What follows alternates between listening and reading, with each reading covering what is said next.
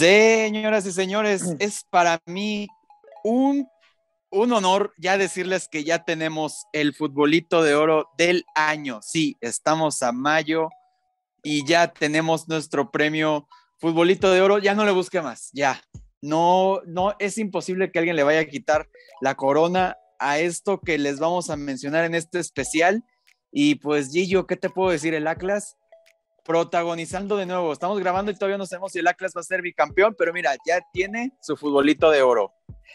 Sí, pero creo que este futbolito de oro se lo gana más Tigres que el Atlas. O sea, sí hay un par de elementos rojinegros, pero bueno, tuvimos una semifinal que va a ser recordada por la eternidad. Es que. Y no por buena, y no por buen partido. Ah, es que no sé, depende de la definición de bueno que tengas, porque para mí ya sabes que a mí me gusta el fútbol champagne, el fútbol europeo, de alta calidad. Ok, bueno, eh, eso ya lo segundo ya no. Pero esto, es como fútbol, no sé, cerveza de raíz en envase de plástico. Pero fue divertido, o sea, a mí, o sea, yo como. O sea, sí, fue divertido, pero no fue bueno. Fue, como describí en Twitter, terminando el partido, este fue el partido más Liga MX que he visto en años, o sea, y eso que hemos visto muchos episodios surreales, pero este, Dios mío santo de mi vida. Vamos a empezar porque si no se nos va a hacer noche. Sí, porque vamos a irnos no con, no como ustedes ya saben, nuestra premiación que va en un orden de lo, digamos, de lo mejor a lo peor o de lo peor a lo mejor, como usted quiera definirlo. No, aquí nos vamos a ir conforme iba avanzando el partido, conforme todo se iba derrumbando. O construyendo. O construyendo también. El construyendo este, esta comedia involuntaria. Sí. Fue como un circo de tres pistas, ¿no? Sí, porque no sabes ni para dónde hacer, o sea, ni para dónde ver. Porque aquí todos, o sea, todos salieron embarrados. El Tigres, el Atlas y el arbitraje. Pero bueno, vamos por partes, como dirían en la colonia. Y la federación, y la federación. Sí. Como dice la colonia, eh, como dicen en la colonia Buenos Aires, vamos por partes. Eh, primer tiempo. Hay una jugada que no se observa. Ya sabemos que si hay un jugador protegidísimo en el fútbol mexicano, es André Pierre Guignac. Y pues bueno, él realmente jugó gratis todo el segundo tiempo porque en el primero se pudo haber ido de un codazo que no lo quisieron ver en el bar y, debió haber sido roja. Y esto realmente es un bambómel. O sea, tal cual porque pues ya fue un codazo ya por puro ardor. Ya el Atlas estaba inclusive teniendo el sartén por el mango, estaba 3 a 0 arriba y luego anotaría el, el 1-0 que lo pondría 4-0 en el global. O sea, André Pierre sacó el cobre como siempre. Sí, y no es la primera vez que Cristian Guiñac logra, bueno, se mete en esta lista del Bambomel. Sí, escucharon bien, Cristian Guiñac. ¿Por qué nunca le decimos Cristian Guiñac? ¿Por qué? No sé. Pues, si así se llama. Ah, así se llama, es su segundo nombre. Ajá. Sí. Pero pues bueno, ya tenemos el primer premio del día, porque luego vendría algo en el segundo tiempo, en el, al medio tiempo, que pues básicamente garantizaría, garantizaría que el Atlas iba a pasar sí o sí. O sea, no, no importaba lo que pasara. Es más, aquí nos debimos haber dado cuenta, ¿saben qué? Ya este segundo tiempo no cuenta. No cuenta, porque el Piojo Herrera decidió sacar a Uguayala para meter a Taubán, es decir, sacó un mexicano por un francés, y en ese momento había nueve jugadores no formados en México en el campo, lo que quiere decir que habían violado la regla 18, solamente se puede jugar con ocho jugadores en el campo no formados en México, y al Tigres al tener nueve, de todas maneras esto lo iba a perder en la mesa sí o sí. El Escritorios Fútbol Club. Estaba leyendo a los defensores del Piojo Herrera en Twitter, periodistas y aficionados este, mediáticos, que decían, es que el Piojo es el... Eh, sí es responsable, pero él no puede estarse fijando en esas cosas. Tienen que ser los asistentes quienes le digan, oye, oye, Herrera, no puedes meter a este porque, por el mexicano, porque estamos infringiendo el reglamento. ¿Qué va a decir este, este Herrera?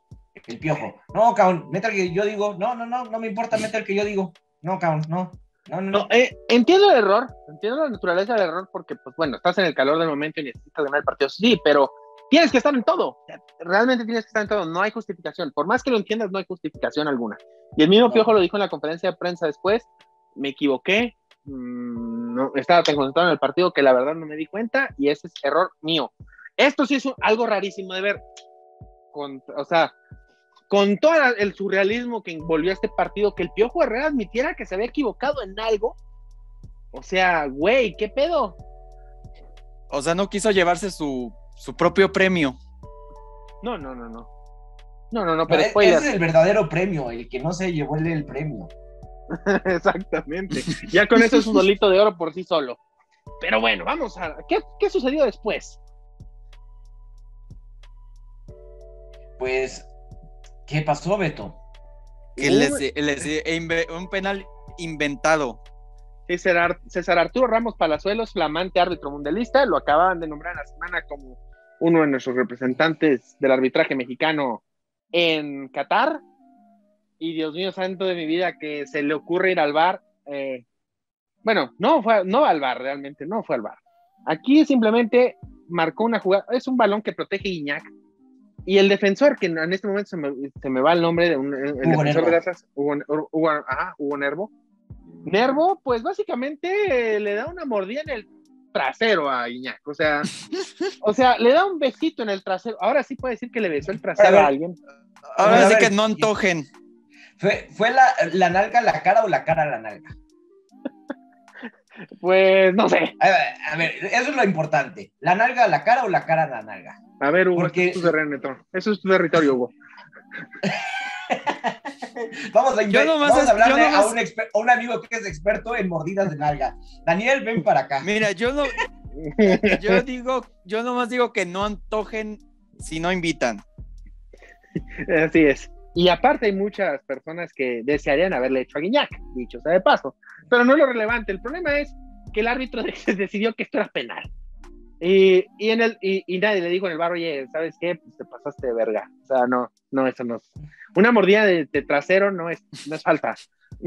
No, o sea, es que no sé. O sea, es que la puedes interpretar también como, o sea, como que la nalga va a la, a la cara. O, como o incluso como acoso. Sí, o sea, una cosa, o sea, esto puede desembocar en tantas cosas. Que bueno, le dijeron al árbitro, ¿sabes qué? Estás bien. No la veas, no la veas en el bar y pues André Pierre Guignac anotó el 1-0 en ese momento. no, el 1-1, perdón, 1-1 que metía a Tigres de vuelta, o sea, que le daba un aliciente a Tigres para... Sí, le daba vida. Muy poca, pero le daba vida. Lo suficiente veríamos a continuación.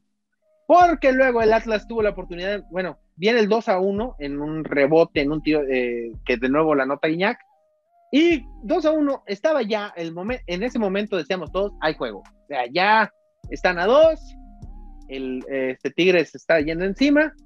Vienen, antes de que venga una serie de jugadas raras, viene otra de Quiñones, que tiene un mano a mano con, con Nahuel, o sea, libre, sin marca, con todo el tiempo del mundo para definir, y la manda afuera. Y tenemos un calucha aquí. O sea, la falla de Quiñones es terrible. Quiñones que bien puede ser el jugador, el jugador de la serie por lo que hizo en la ida y el gol en la vuelta, pero la falla también, Dios mío santo de mi vida, fue horrenda. Una falla lamentable contra Nahuel. Sí, que en esas circunstancias no te puedes permitir fallar una jugada así. Así es. Y bueno, después viene una jugada muy rara que el árbitro, que César Arturo Ramos va a ver al bar y no otorga penal. Digo, no era. Y este, después otra vez le hablan del bar. Oye, ¿sabes qué? Pues como que Tigres necesita un golecito más, ¿no? Un golecito más. Este, pero sí, este sí era penal. Esta la verdad, sí, para mí sí era penal. Es, un, eh, es una jugada sobre, eh, creo que al que derriban es a, este, a, no, no, se me fue el nombre del jugador que derriban de Tigres. Es, eh, ah, el Diente López, el Diente López.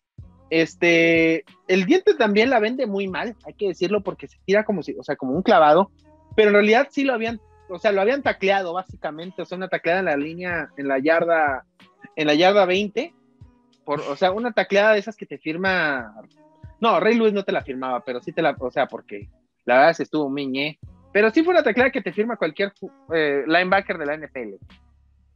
Y este, pues ahí viene el penal. Sí, Sí. yo, ahí- yo la vi y dije, no, no creo que es, o sea, no es tan penal, pero si marcó la primera, pues es así de, si marqué la primera tengo que marcar esta, no hay forma de no marcar. Tal vez Para en mí- otro partido, en otras circunstancias, no la marcaba. No, pero para mí sí, sí es penal. O sea, para mí sí es, sí es foul. Pero, este, pues bueno, también se va a ver al, el árbitro. Dice, hay penal. El hat-trick de Guiñac se completa, 3 a 1. Guiñac, 3 goles, 2 de penal. Cristiano Ronaldo, muérete de envidia.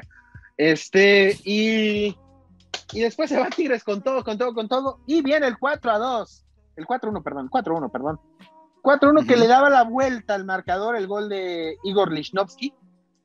Y eh, a- al minuto 80, le quedan 10 minutos a Tigres para sobrevivir, o sea, 10 minutos para ya, digo, ignorando el hecho de que ya formaste, ju- jugaste con alineación indebida, mijo, pero tienes 10 minutos para sobrevivir. Y empieza de nuevo Tigres a sacar el cobre, empiezan a hacer tiempo, empiezan las faramayas, incluida una de, de Soteldo, de Jefferson Soteldo, que... Uy, Sí, y ahí aquí, eh, aquí corresponde al premio Uriel Antuna al jugador idiota. A ver, a ver, a ver. No, yo, yo aquí protesto. Explico por qué. A ver, Soteldo decide pisar la pelota, pero toma en cuenta una cosa. Este güey mide 1.59. Mide 1.59. Yo creo que se paró el balón nada más para ver un poquito más arriba a ver quién había.